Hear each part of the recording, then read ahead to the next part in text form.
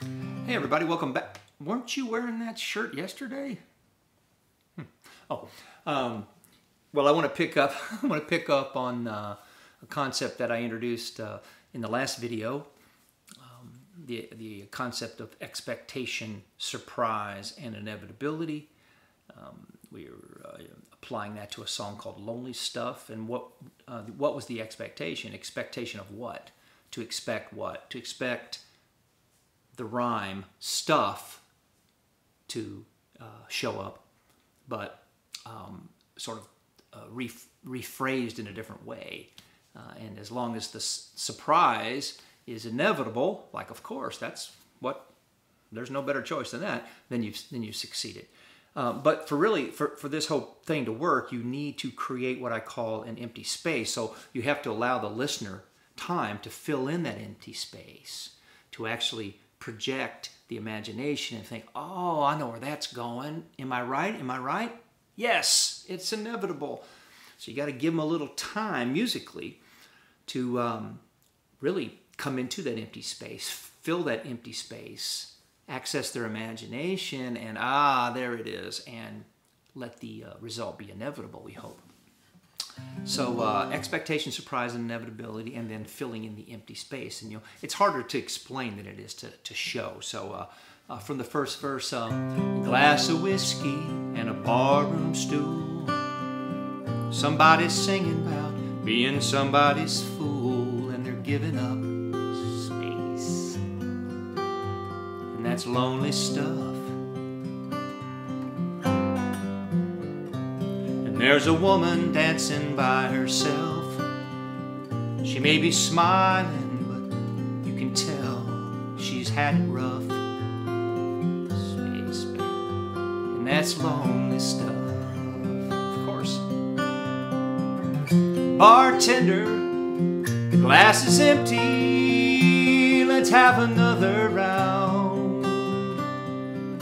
Kill that jukebox, turn off the TV.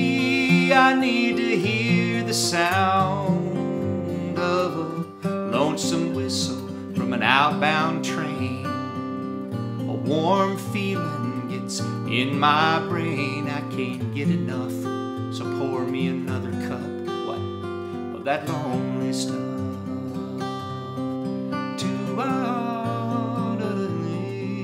Strings. See how that worked? You have to. So pour me another cup. What, what, what? Of that lonely stuff.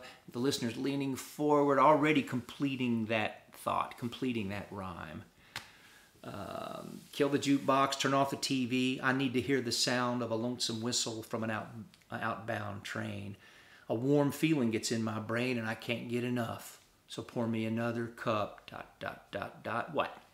Of that lonely stuff. Inevitable. Ah, surprise. Yeah. Oh, it's a train. Oh, the cup. Now the the whiskey is lonely stuff. Pour me another cup of that lonely stuff. Great metaphor there. Ah. So the, the listener, like you were, I hope, was participating in filling in that empty space. So those things work together just just beautifully. Um, um, and then um, we repeat the uh, country bridge again, and uh, and then we get this. Uh, the end of the story is this, and every listener that I've ever played this for, um, when I get to that last rhyme, is already filling in the empty space with lonely stuff, and the end of the story sort of reveals itself, the backstory and everything, and everybody who's already who's hearing it for the first time is going, ah, oh, almost inevitably everybody. Oh, so they've already seen the end of the movie. I saw that coming. It surprised me a little bit, but it was inevitable. And so you've got the second, uh, the second bridge, really, um, uh, which is now chorus, and says, uh, "Bartender, the glass is empty. Let's have another round." I change it here. I need one more before I'm ready to face the truth I found when I got her message loud and. When I drove home and didn't find her there, guess she'd had enough of that lonely stuff.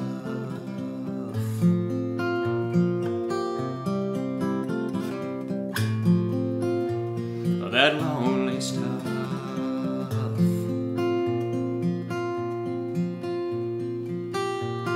Soon,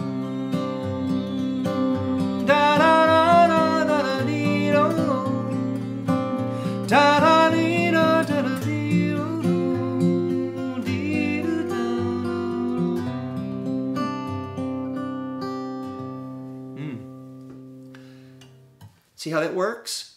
Set up an expectation, surprise them, but it seems inevitable. But in order for that to really work, you got to give a little bit of time, create an empty space uh, so they can fill in the empty space.